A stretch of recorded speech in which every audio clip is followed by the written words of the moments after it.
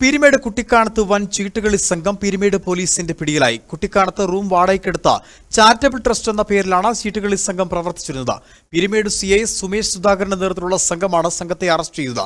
തുടർന്ന് ഇവരെ ജാമ്യത്തിൽ വിട്ടയച്ചു. ഒരു ലക്ഷത്തോളം രൂപയും ഇവരിൽ നിന്ന് പിടിച്ചെടുത്തു.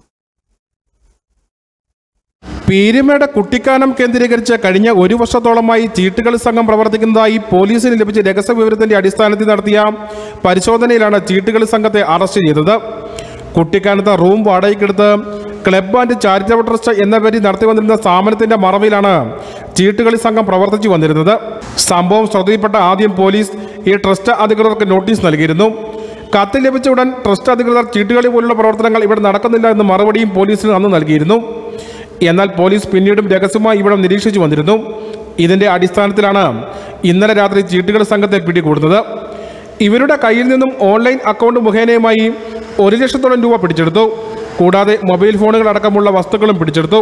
കുട്ടിക്കാനത്ത് generous hearts arts and sports club എന്നും sports club and charitable society എന്ന് പറയുന്ന ഒരു ക്ലബ്ബ് ഉണ്ടായിരുന്നു അപ്പോൾ അവിടെ കുറേ നാളായിട്ട് പണം വെച്ച് ചീട്ടുകളി ഉണ്ട് എന്നുള്ളത് നമുക്ക് ഇൻഫർമേഷൻ ഉണ്ട് നമ്മളത് നിരീക്ഷണത്തിലായിരുന്നു.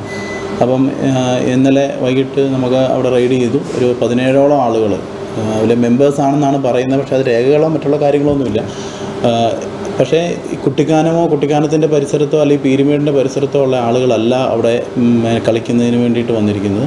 അവരെല്ലാവരും തൊടുപുഴ മുണ്ടക്കയം കട്ടപ്പന ഏരിയയിലുള്ള ആളുകളാണ് അവിടെ കളിക്കാനായിട്ട് വന്നിരിക്കുന്നത്.